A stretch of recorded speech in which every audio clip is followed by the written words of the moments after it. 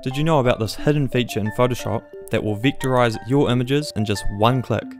Stay tuned to find out.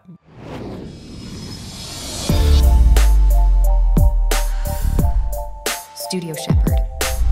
So in Photoshop, there's this awesome tool called the Content Aware Tracing Tool. But unless you've used it before, it most likely won't show up in your toolbar.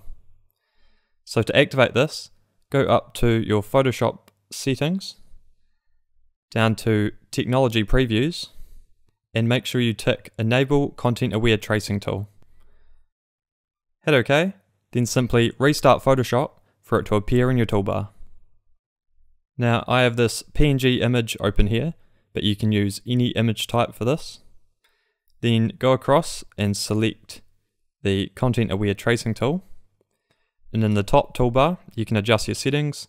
I have my tracing set to simplified and my detail set to 1%. Then simply hover over the edges you want to trace, and when you see this dotted line appear, click, and it's going to turn it into a live path. You can adjust this path however you like. Now do the same with all the other shapes in your image.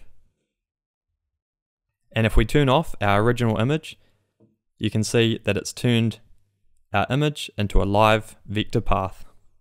Thanks for watching. If you enjoyed this video, be sure to hit that like button and subscribe to stay up to date with the latest design tips. I'll see you in the next video.